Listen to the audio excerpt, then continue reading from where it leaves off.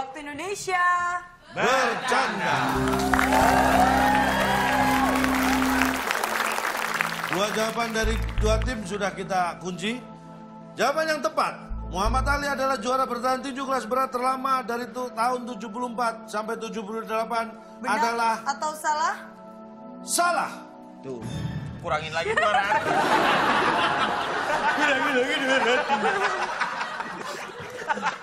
Lama-lama gua. Kita selamat. Selamat. Ngomong-ngomong boleh tanpa alasan nggak sih?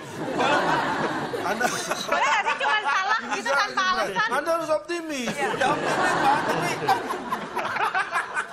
Berat banget. ini Nggak, mohon maaf. abis ini kalau kita ditanya Mohon jawabannya maaf, kita nggak ya, punya Ini alasan.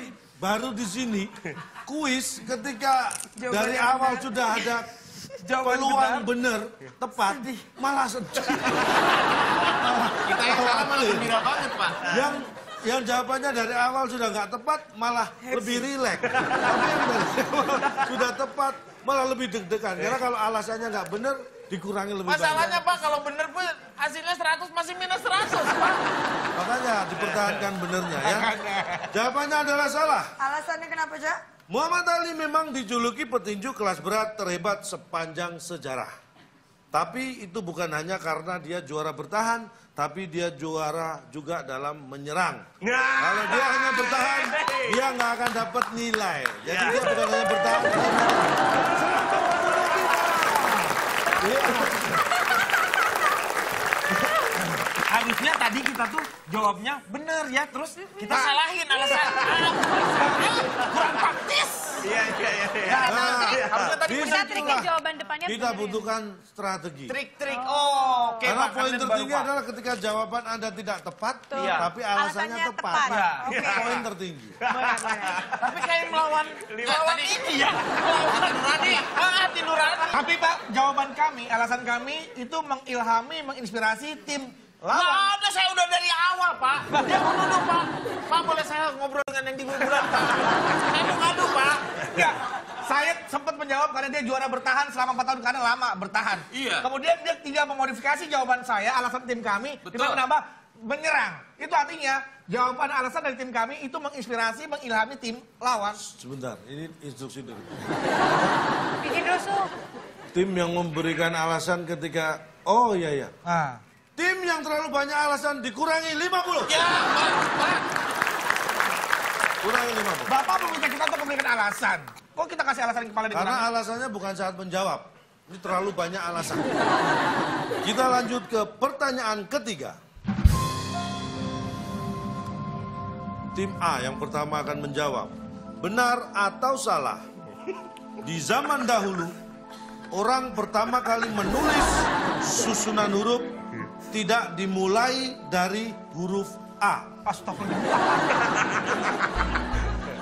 Berarti jawabannya benar. Benar. Benar. Karena zaman dulu, Di zaman dulu. di zaman dulu, Iya. eh, huruf dengan- diawali dengan huruf D. huruf D. Jawaban Anda benar karena alasannya di zaman dulu diawali dengan huruf D. D.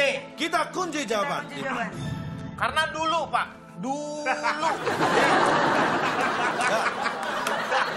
Tim B. Kita jawabnya salah aja, Salah. tapi kita akan memberikan alasan yang tepat. Jawaban Anda salah.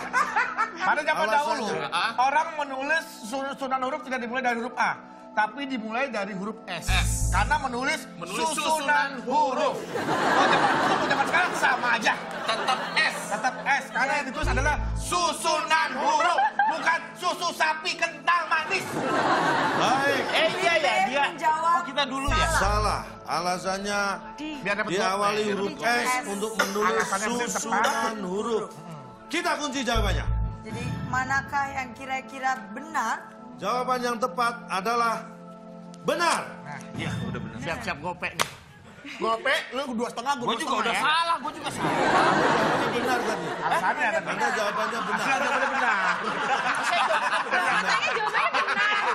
Biar jawabannya benar. Kalau sampai ya ya?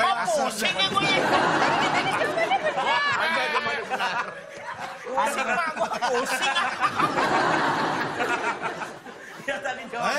Gimana jawabannya benar. Jawabannya benar. Jawabannya salah. Karena yang perlu Anda ketahui, Kenapa jawabannya yang tepat adalah benar? Karena sejak zaman dahulu, orang pertama kali menulis memang diawali dengan mengambil alat tulis.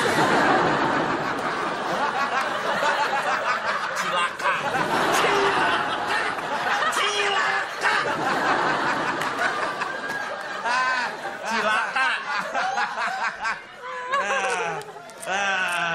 Tapi benar, Anda jawaban tadi salah. Iya, dia jawabannya Timbel salah. salah, jadi alasannya salah, tidak mendapat nilai.